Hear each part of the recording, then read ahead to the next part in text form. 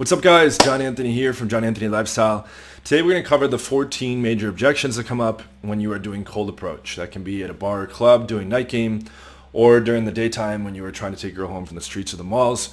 Wherever it may be that you did the cold approach where you walked up to a random stranger and tried to bring her home, there's going to be these main objections that come up. Okay, so I train guys in my courses, which you can find the links in the description, on how to optimally respond to each one, just like they do in The Wolf of Wall Street when they're responding to objections on the phone. He trains his sales team when they say this, you say this. When they say this, you say this, okay?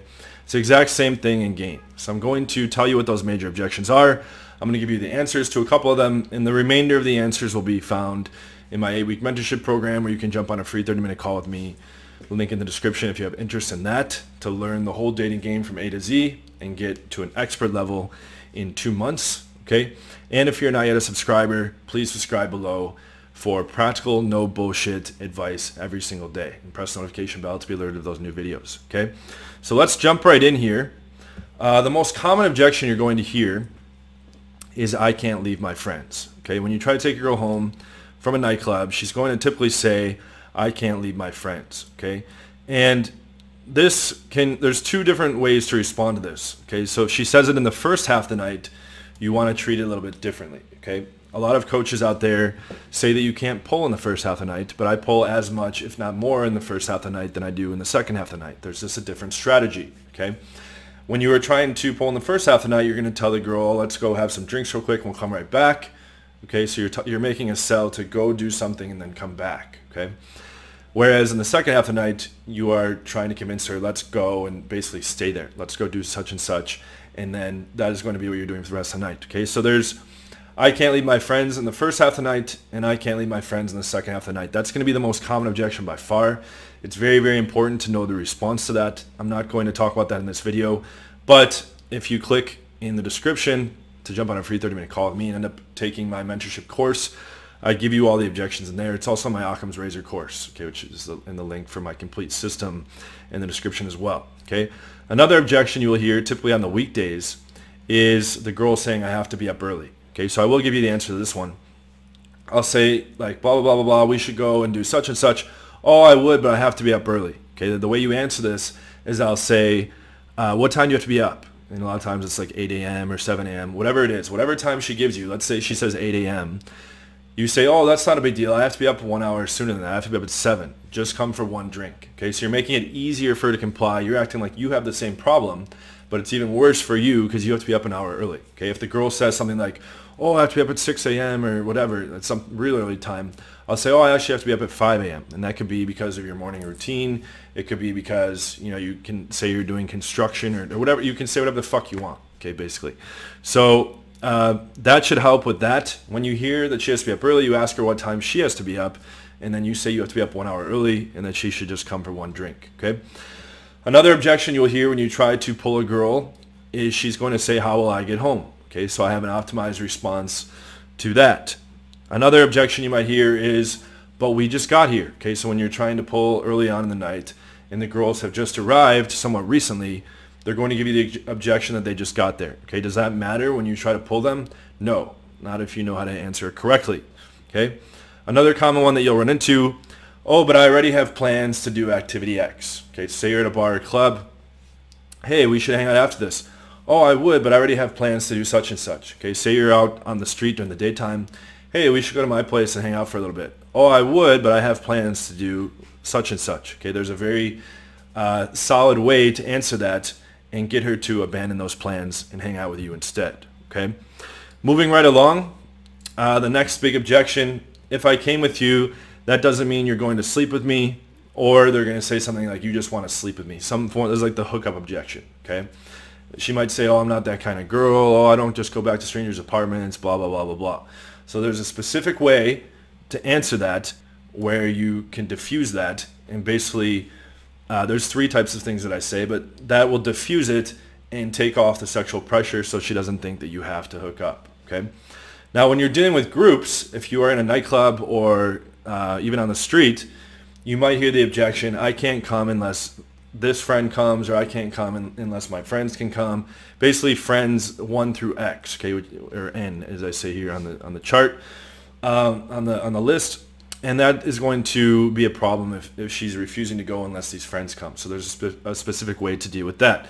And again, I train you on these in the Occam's Razor product, which has a link in the description, and also the free 30-minute call. Okay, if you end up signing up for that, I will teach you these as well. These are you need to know these like the back of your hand. A lot of my game is moving things forward from open to close, and you're going to run into objections when you try to pull. You're going to run into objections when you ask for the phone number, when you try to kiss her, even when you open, when you try to isolate. Okay, you're going to run into objections when you're texting. There's going to be logistics objections, safety objections, hookup objections, um, comfort objections, okay? And there's specific ways of dealing with all those. If she says something of a certain sort over text, I can tell you the exact text to send. It's all defined, predefined in my eight-week mentorship or in the Leads Machine product, which has a link in the description as well. Okay, another one that they might say is, but I just met you, or I don't go home with guys that I just met. So I have a clever response there that's going to make her feel at ease and bypass that. Okay. Another objection of the 14 major from cold approach are other people coming. Okay. There's a specific way to deal with that. Another one is I can't travel very far. Okay. She wants to stay close by. There's a way to handle that.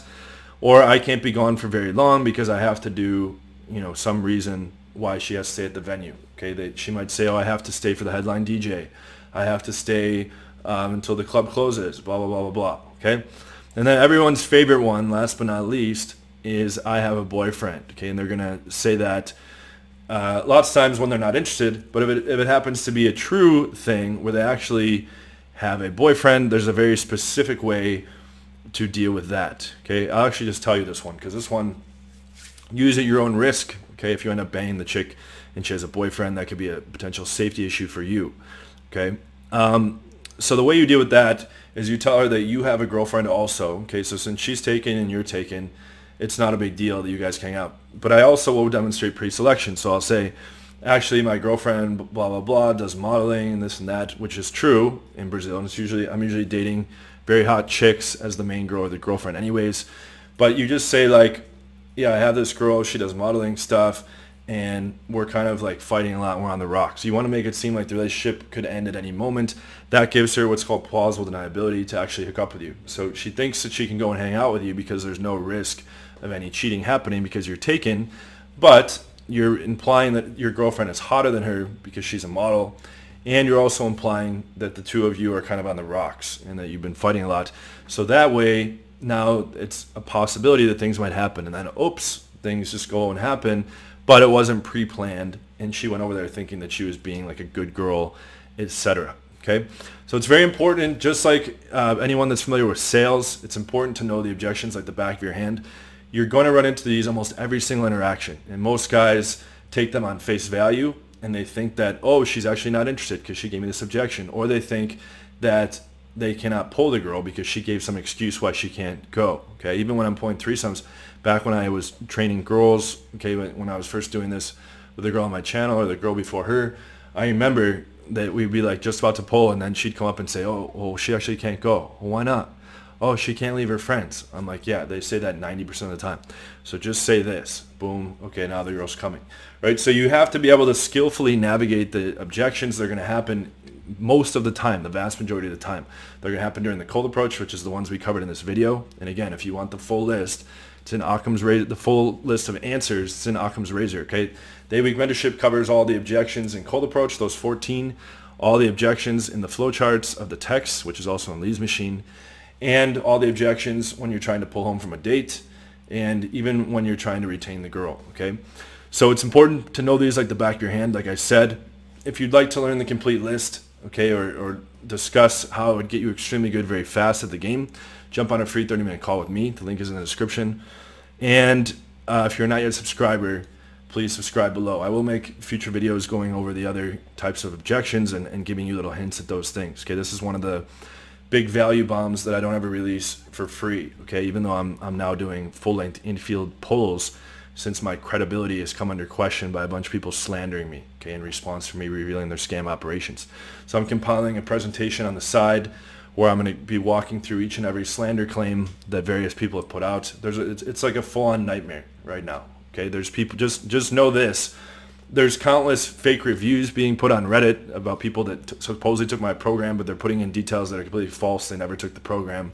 There's fake screenshots people are putting up about me hiring prostitutes and escorts. Those are fake. They were debunked by CoffeeZilla.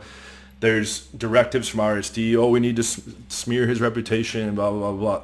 All, basically, RSD, Modern Life Dating, uh, RSD Max. I, I, have direct evidence. Even Derek, I have direct evidence uh, that I'm going to compile into into one big video. Uh, in my ex-coach, okay, these people are all engaging in mass slander, putting out fabricated reviews, even encouraging people to write fake reviews. I have proof of that as well. Okay, so all this shit that you guys might may or may not have seen. Okay, if you don't know what I'm talking about, don't worry about it. But there's a lot of fucking slandering happening. That's what happens when you attack like 30 people in the industry for good reason. Okay, I put out actual things that are that are true and they really happen and to show you guys that these guys are full of shit. Okay, but now people are trying to come at me in response as a revenge thing and they're trying to take on the guy that has the most proof by far. Okay, hundreds of infields, thousands of pictures hundreds of testimonials, countless guys vouching for me, etc., etc. Uh, watch at the end of this video. I'll show you all the metrics, the, the video and the, the recommended video. I'll show you all the metrics where I fucking destroy, okay, and, and how I'm the, the guy with the most proof by far. And the people that are slandering me show zero, okay, or very close to zero. So thank you so much for watching. I will see you guys in the next video, and I hope that was helpful. So now you understand how important objections are and knowing the answers are to getting success in this game. Okay, thank you guys so much, and I will see you on the next video. Take care. Some do it for the income, but we do it for the outcome. Some of us are active while others just let their mouth run. No doubt, son, this is not just about fun. We will not be outdone by these cowards who shout.